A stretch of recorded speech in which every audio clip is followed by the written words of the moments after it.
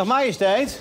Eh, hallo, beste man. Wij zijn van de Gouden Luis in de Pels. Hoe was het interview? Enig, enig mens, die Dorine. Ja, ja, ja. Mogen we wat vragen? Jazeker. Wat heeft u tegen katholieken? Helemaal niets, hoezo? Nou, u heeft in het eh, jaar 1629 de katholieke mis verboden... in het net veroverde Brabant, toch? Ja, dat, dat, dat is waar, maar dat was onder druk van de Calvinisten. Dus dat was met tegenzin. Oh, dus u laat anderen bepalen wat u doet? Nee, zo is het niet. Maar, Ja, maar u heeft katholiek zijn verboden in zeg, dat Brabant. moet je zien in de context van de tijd. Hè? En- en Er is geen doodstraf op. Ik bedoel, kom, Oh ja, kom moest op, nog zeg. bij komen, zeg. Doe- Ik vind het allemaal heel erg brutaal. Kom op, Amalia, we gaan. Wat is er mis met katholieken? Zeg, hou op. Waarom loopt u nou weg?